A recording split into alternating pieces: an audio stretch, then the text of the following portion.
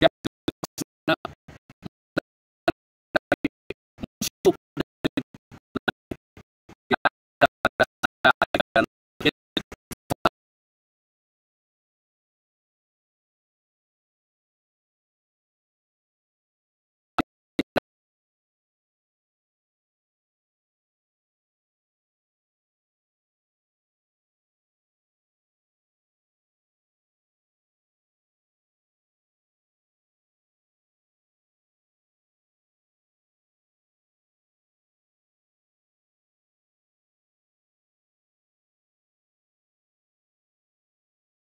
कायदा हा त्या ठिकाणी लावण्यात आला नाही.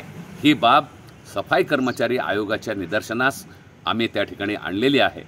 परभणी जिल्ह्यामध्ये मोठ्या संख्येनं असलेला मेहतर आणि वाल्मिकी समुदाय यांच्या सर्वांगीण विकासासाठी उपाययोजना केल्या गेल्या पाहिजेत आणि अनेक ठिकाणी या ठिकाणी प्रशासनाला सवाल केला की या परभणी शहरामध्ये आणि जिल्ह्यामध्ये अनेक जुन्या प्रकारचे महिला हाताळणी करणारे संडास आहेत जे थेट ज्याचं आउटलेट नाल्यांमध्ये सोडण्यात आलेलं आहे जी या जिल्ह्यातील सफाई कामगारांना हाताने हाताळावी लागते याच्यावरती कायदेशीर बंदी असताना देखील मनपा प्रशासन हे या प्रकरणात कुठलीही कारवाई वेळोवेळी मागणी करून देखील करत नाही आणि ती बाब देखील आयोगाच्या निदर्शनास या ठिकाणी आणलेली आहे.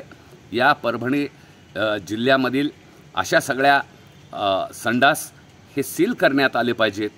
जर या देशामध्ये केंद्र सरकार इन्कम टॅक्सवरती स्वच्छता सेस लाखो कोटी रुपयाचा या ठिकाणी जर वसूल करत आहे तर केंद्र सरकारने प्रत्येक पंचायत समितीला किमान दोन मशीन्स क वर्ग न नगरपालिकांना किमान एक मशीन आणि महानगरपालिकांना चार ते पाच मशीन या मशीन केंद्र सरकारने स्वतःहून उपलब्ध करून दिल्या पाहिजेत.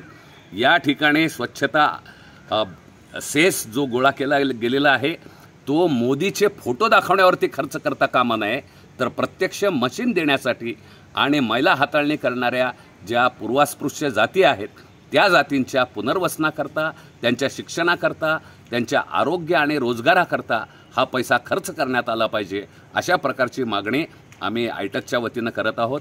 केंद्र सरकार ज्या प्रकारच्या निष्काळजी पद्धतीनं या स्वच्छता सेसचा उपयोग करतं आहे मोदी साहेबांचे फोटो झळकवण्याकरता त्याचा आम्ही या ठिकाणी स्पष्टपणानं निषेध करत आहोत.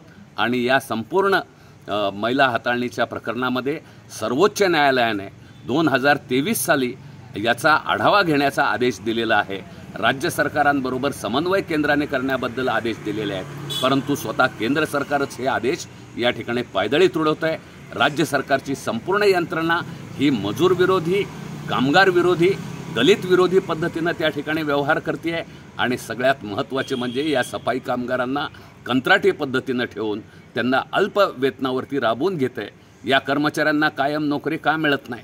त्यांना योग्य कालानंतर पद पदोन्नती का मिळत नाही? आणि सगळ्यात महिने महत्त्वाचं म्हणजे दर महिन्याच्या दहा तारखेच्या आत पगार त्यांना का मिळत नाही?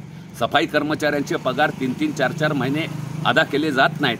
आणि ते सरकार जे आहे जे या सफाई कामगारांना वेतन देत नाही जे या सफाई कामगारांना सुरक्षा देत नाही या जिल्ह्यातलं प्रशासन संपूर्णतः खोटी माहिती आयोगाच्या समोर देण्याचा प्रयत्न करत होतं.